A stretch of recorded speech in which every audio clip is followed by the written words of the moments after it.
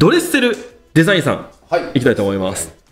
こちら、じゃん、エモーション。エモーション。はい、エモーションでございます。こちらのエモーションというヨーヨーなんですけども、こんな感じの H プロファイル、中心がインバース寄りの H プロファイルですね、はいになっておりまして、で、このヨーヨーを、一応ですね、関連あるヨーヨーがございまして、それがモナークっていうヨーヨーですね。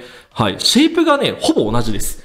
はい。そうですね。はい、そうなんです。で、シェイプがもうマジ、本当にこの中心がインバース入った H プロファイルっていう。はいはい。この丸みがある、このね、はい。外側のシェイプの部分の角度もすごい、本当クリソツ。この中心のグルーブもクリソツなので、本当にモナークのモノメタル版って言っていいぐらいの、はいはいはい、ものになっていますね。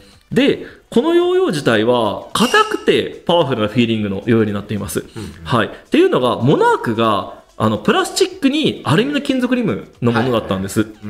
で、アルミの金属リムで結構広めにウェイト取ってたりとか、はいそもそも中心がプラスチックだったりとかで、結構、あの、柔らかいフィーリングだったんですよ、モナークって。パワーがある割に。はいはいなんですけど、こっちはもう硬くて鋭いパワフルなフィーリングっていう、はい、ものになっていますね。はい。ああと、これ素材が超長ジェラルミンでしたっけね。はいはい。で。見てください。こちら何か。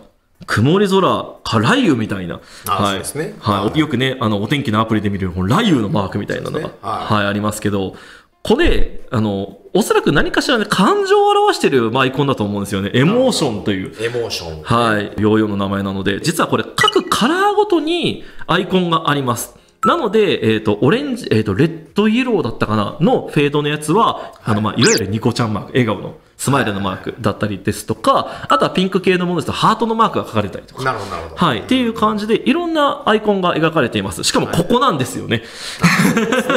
うんはい。でも、すごくないですか？これ、ヨーヨーの名前はどこにも書いてないんですよ。確かに。はいで、何を描いてるかがヨーヨー名っていううん。。なるほど、なるほど。結構ね、洒落たヨーヨーのね、名前のね、はい、記し方をしているという。しかも、オンって書いてあるからね。そうですね。あの、これはストリングに乗るという願掛けも込めてるんですかね。ああ、いろんなダブルミーニングを。はい、兼ねてるかもしれない。まずこれは今本当に思いついただけ。そうですね。はい完全に勝手に言ってるだけですね。